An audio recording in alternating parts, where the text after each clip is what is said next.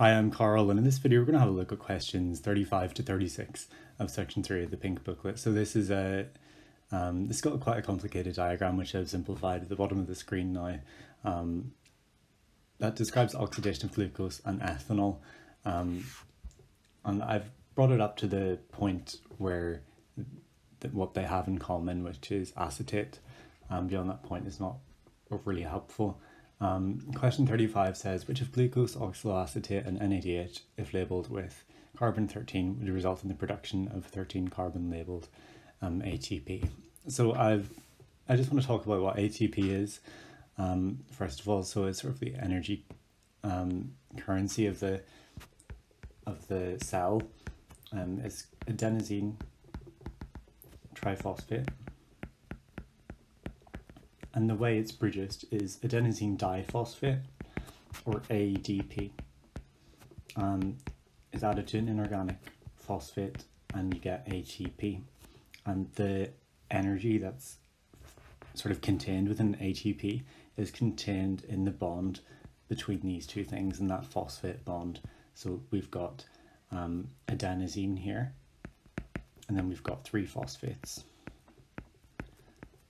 and the energy is held in this bond right here. Um, so the purpose of this whole co quite complicated biochemical um, process is to create the energy that's stored in this bond. Um, and so what's, what happens is that uh, a phosphate group is added to an existing ADP molecule.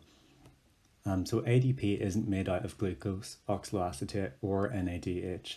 Uh, it's something that already exists within the cell. So if you labelled glucose, oxaloacetate or NADH, none of the carbon atoms involved in those particular molecules would actually end up in the ADP that's already there. And so you couldn't get carbon-13 labelled ATP by labelling any of those. So that means that the answer for question 35 is D.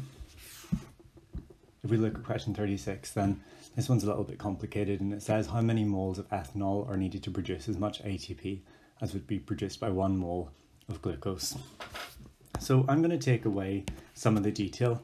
I'm just going to pretend that this little bit of it doesn't exist for now and we'll come back to why in a second. But we've got a ratio of one ethanol molecule to half a glucose molecule and they go on to produce one molecule of uh, one acetate molecule. So that's the common point they have in their biochemical reaction. And beyond that point, you get 4 ATP that is produced. And so if it was as simple as this, then you could say that you need twice as much ethanol to produce the same amount of acetate and therefore the same amount of ATP.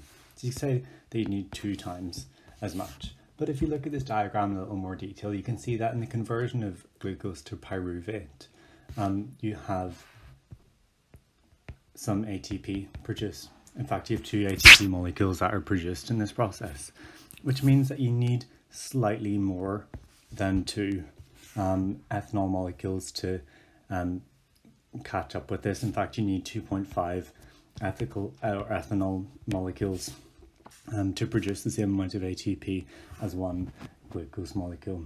And so out of the answers that we've got here, it's less than one, more than one, but less than two more than two but less than four or more than four?